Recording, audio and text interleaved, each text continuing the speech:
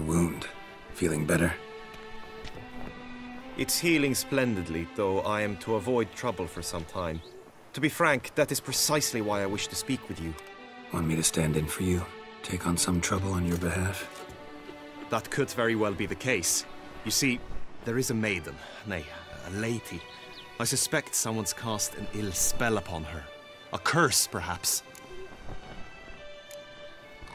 Let me guess. She suddenly grew cold, haughty, and distant, though the night before she was flirtatious and alluring. Tut tut, Witcher. You jest, yet the matter is grave. Though true, the lady in question is dear to my heart. I shall not deny it. I fear she has fallen victim to ill magic, and knows no one she could turn to for help. What makes you think she might be cursed? You must keep all I say to yourself, I beg you.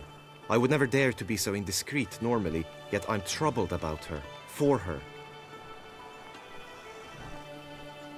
Vivienne shuns the company of others. Though the fairest maid at court, she keeps men at a distance. I thus determined I would resort to trickery. Trickery? That even befitting of a knight? In war, yes. And what is love if not battle? As it were, one evening I crouched in hiding outside her seamstress's home. As Vivienne emerged from it, I too emerged, ever so gently but convincingly collided with her, then promptly offered to escort her home. She consented. At first, all augured well. I proposed a more scenic route. She agreed.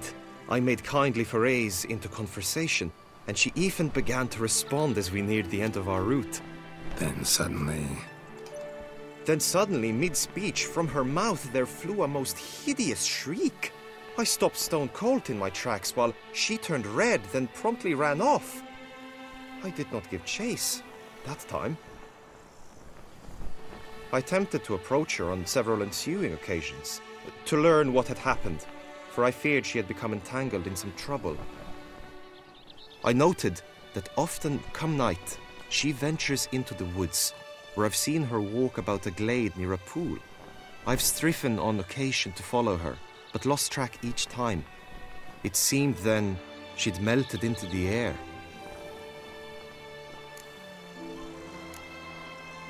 Sound you heard. She might have just had a sore throat. Had I thought it possible the sound was natural, I never would have taken up your precious time. Notice any other strange behavior? Additional symptoms? No, Vivienne's avoided me wholly since the first encounter. But folk gossip. What about?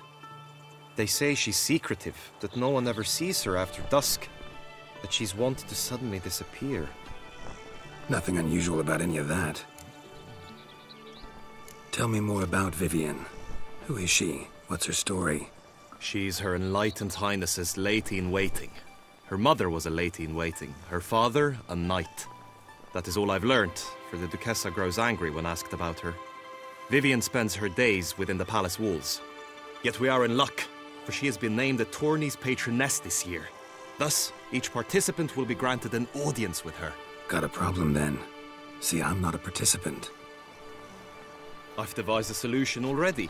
You shall take my place in the lists and thus gain the chance to speak to her.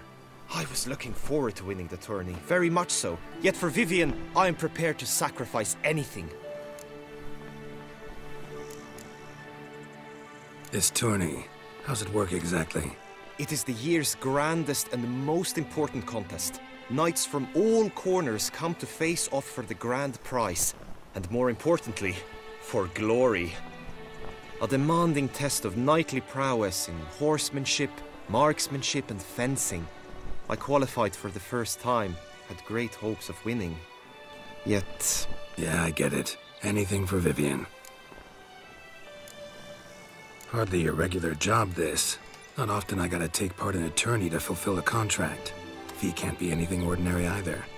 I'm no magnet to command heaps of coin, but naturally I shall award you a just amount. How much do you demand?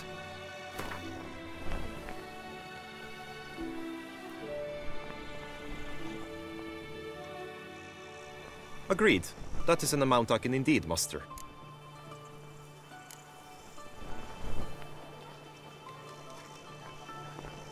Fine. I'll look into it. Gotta admit, piqued my curiosity. I shall be forever in your debt. Now, we must ensure you are not eliminated from the tourney before you can meet Vivienne. Meaning?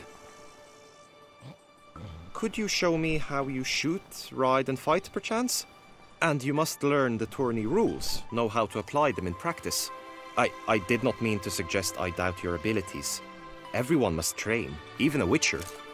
Besides, the tourney contests must surely differ, require skills you don't usually apply, races above all. The choice is yours. Where shall we start?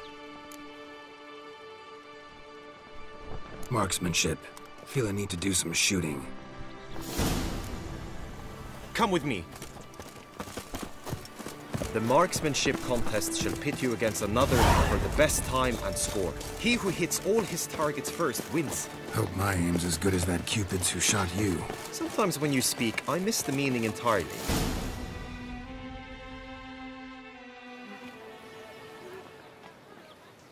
Hit the red targets!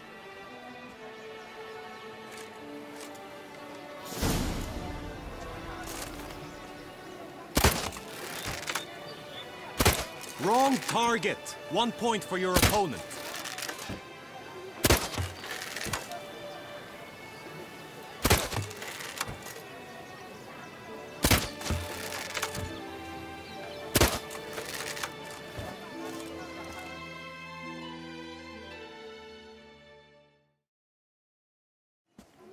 Once more?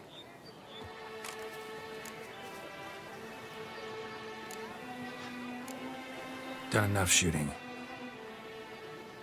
Where to now?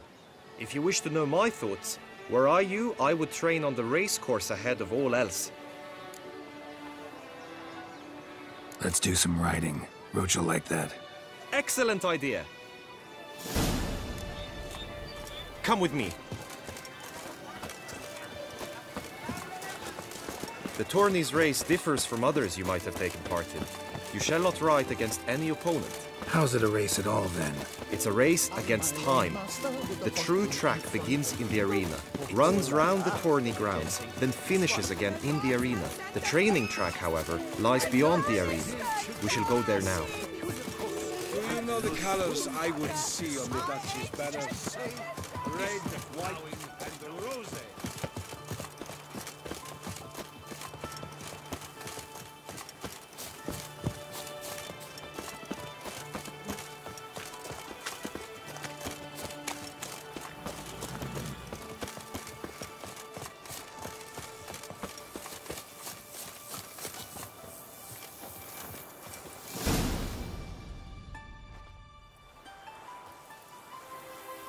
All is ready.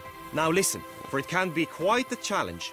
Along your route stand dummies and targets. The dummies you may cut with your blade. The targets you must hit from your crossbow. The time you have to complete the course shall increase each time you land a strike, be it with blade or bolt. It may sound simple enough, yet I've seen many a knight fail this contest and hang his head in shame. During the race proper, judges throughout the course shall tally your points. For now you may ride unperturbed by those matters.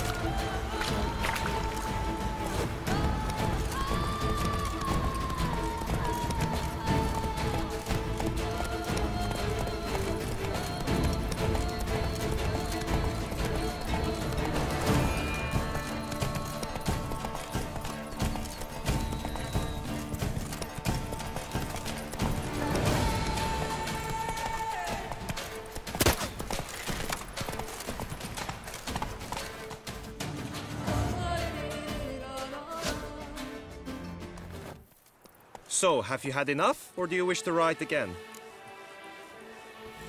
No harm in going again. Practice makes perfect, even for witchers.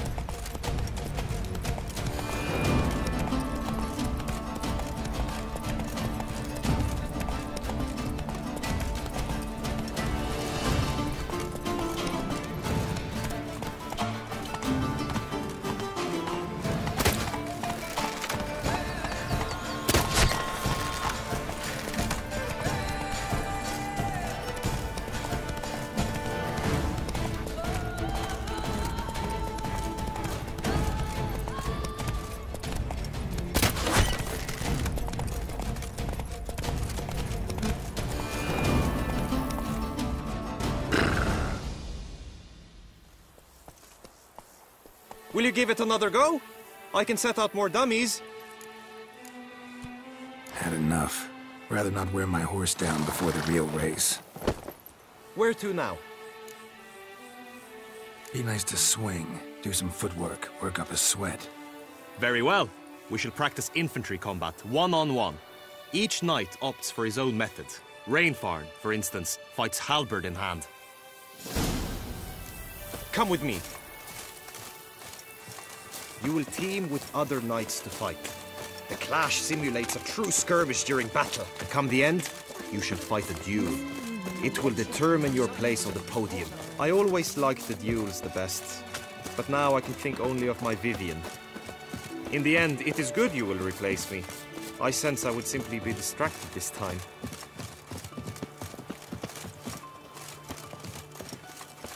Don't crowd around.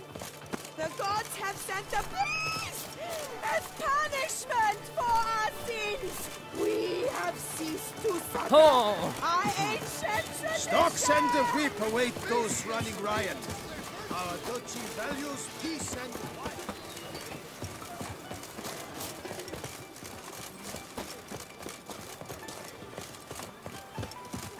You shan't find anything better in all Toussaint. Stand at the center of the training ground. A knight will approach and challenge you. Just unto the knight returned from his days at war. Yet the lass for whom he'd find and yearned had You need not ask me twice. Bad idea. Now what will just?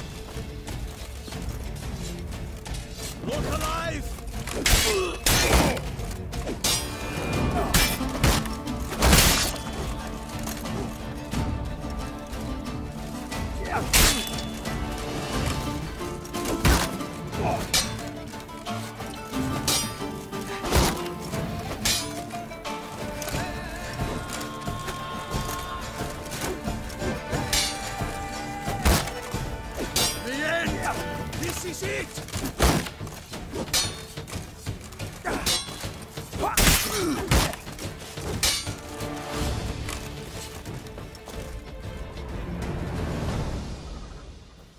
Expected you to do well, but not that well.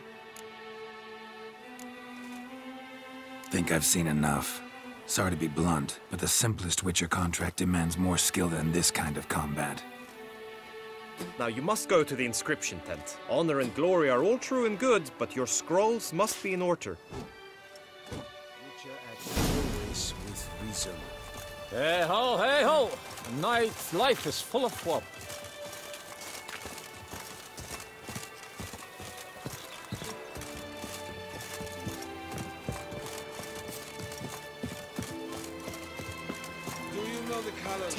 Care of the yourself. Mm. Duchess' banners? Red, white,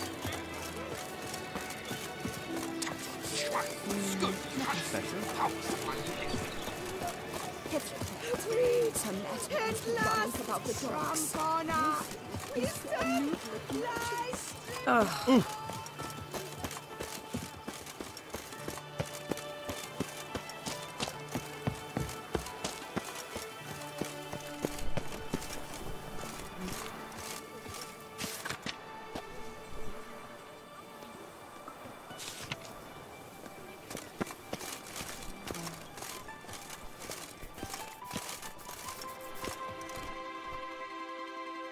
Greetings.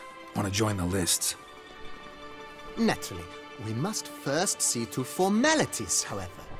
At Guillaume's request, I have looked into your personal history in its heraldic aspects. Really? What did you come up with? My findings show you may take part as Geralt of Rivia, What a surprise. or as the Honorable Ravix of Fourhorn. It's not every year we have a combatant who can boast of two crests.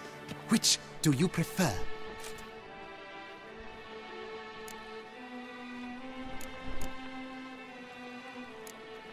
Kinda curious what you could have learned about Geralt of Rivia. In the year 1267, a certain Geralt, a member of the Witches' Guild, was knighted by Queen Meve and dubbed Geralt of Rivia. This was in honor of his distinguished service at the Battle of the Bridge, said structure spanning the Yaruga. But I wager you know of which battle I speak. Hmm. Yeah, those were the days. Cahir and I led a fistful of Nordlings against an entire Nilfgaardian battalion. Won that battle just because we absolutely had to cross the river.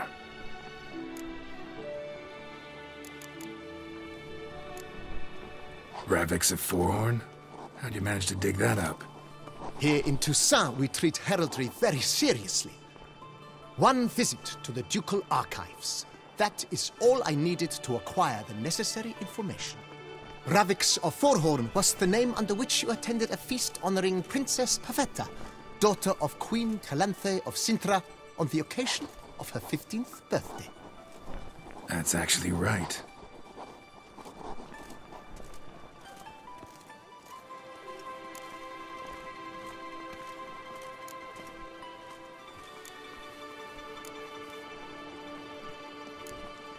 The Honorable Ravix will do. You may now take the shield bearing your crest. I'm a Witcher. Shields aren't something Witchers ever use in combat. Who mentioned using it in combat? Not I. The shield commemorates your participation in the tourney. You may take it as a souvenir. Hmm. In that case, thanks. Have you been instructed as to the tourney's challenges, prizes, and vows? If not, I do hope you will allow me to tell you about them.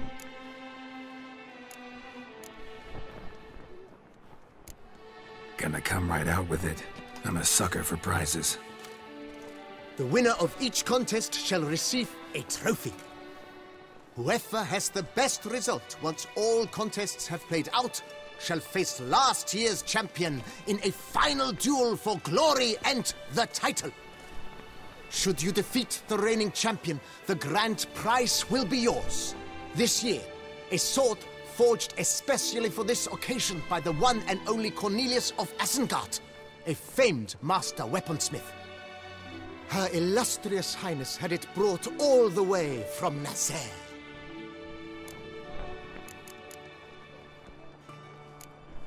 You say something about vows?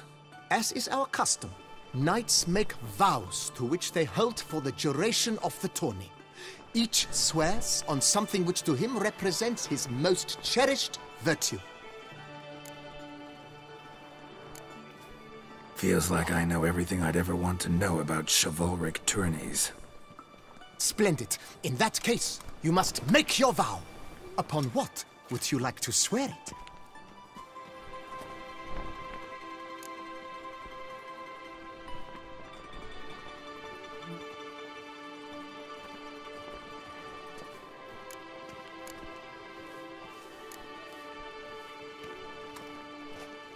I swear on her grace's illustrious garter to respect the chivalric virtues in competing. May the gods succor you in your endeavors to overcome.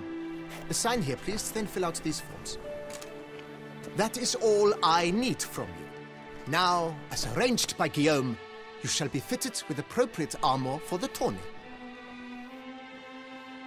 Hmm, shiny. You have also been assigned a tent for the tourney's duration. It stands near the arena. Good luck.